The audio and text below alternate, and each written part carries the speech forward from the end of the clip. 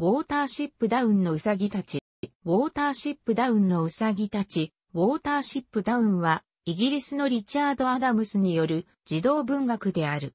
1973年にカーネギー賞とガーディアン賞をダブル受賞した。日本では1975年に神宮照夫役で評論者から発行されている。なお、2006年には新訳版が発行され、ウォーターシップダウンのウサギたちに解題となった、ウサギ、ウサギ。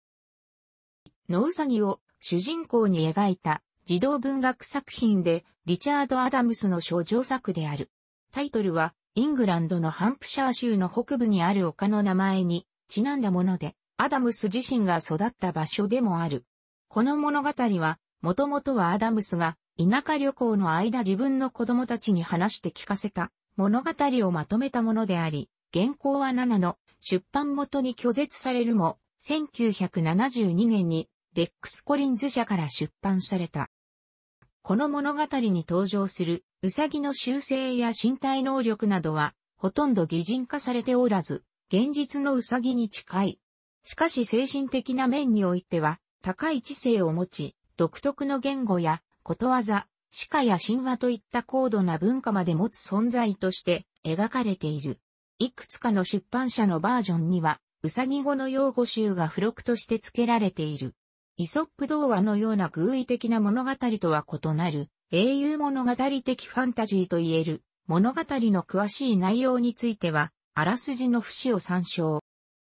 1996年、アダムズは、ウォーターシップダウンの村のウサギたちや、本書に登場する、伝説上のウサギの王エル・アライラーを、主人公とした19の短編を集めた、テールズ・フロム・ウォーターシップダウンを出版した、日本語未訳。ウ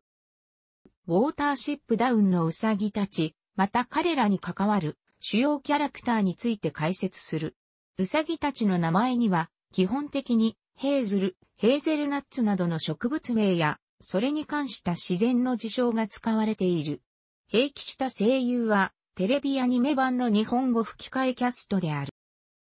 英国ハンプシャー州に、サンドルフォード繁殖地というウサギたちの巣穴があった。そこに住む予知能力を備えたファイバーというウサギがある日、災害が迫っていると騒ぎ出す。彼の兄ヘーズルは蝶に避難を提案したが、真面目に取り合ってもらえなかったため、何羽かのウサギを説得して脱出した。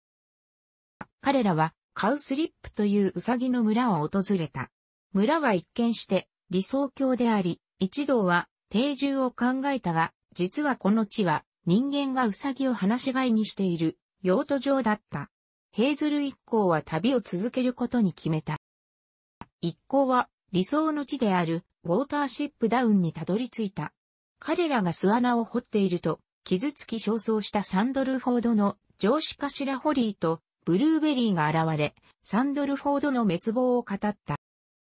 ヘイズルは種の異なる動物との協力体制を思い立ち、鳥の仲間を得て、繁殖のために必要なメスを上空から探してもらおうと考えた。やがて、ヘイズルは傷ついたユリカモメのキハールを助けて、信頼関係を築いた。キハールはウサギたちに何羽かのウサギが飼われている農場とエフラファという繁殖地の存在を教えた。一同はエフラファに施設を建て、ウォーターシップダウンに移住を希望すメスを募ろうと決めた。一方、ヘイズルは農場も偵察し何羽かを脱出させた。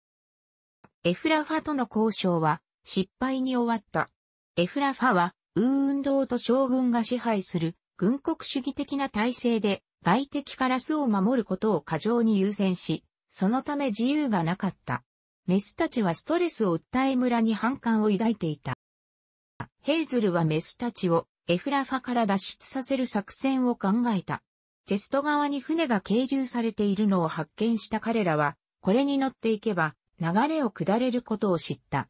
ヘイズルはビグウィグをエフラファに潜伏させ、メスたちを逃がす段取りを整えた。ビグウィグは不満派のメスと結託して気を待ったが、計画が漏れそうになりやむなく強行脱出を図った。ヘイズルたちとの合流地点において、追っ手と衝突したが、キハールの助けで難を逃れ、逃亡に成功した。起訴を果たした一同は、ウォーターシップダウンで営みを始めた。ある時、ヘイズルが命を助けたネズミが、ウー運動と率いるエフラファのウサギの来襲を中心した。ヘイズルたちは、不意打ちを回避したが、将軍は作戦を練り、ウォーターシップダウンめがけて穴を掘り進めた。怯える仲間たちを救うためにヘイズルは農場に向かい、そこの飼い犬を利用してエフラファの戦闘員を追い払った。ヘイズルは農場の猫に捕まってしまったが、人間の少女によって救い出され解放された。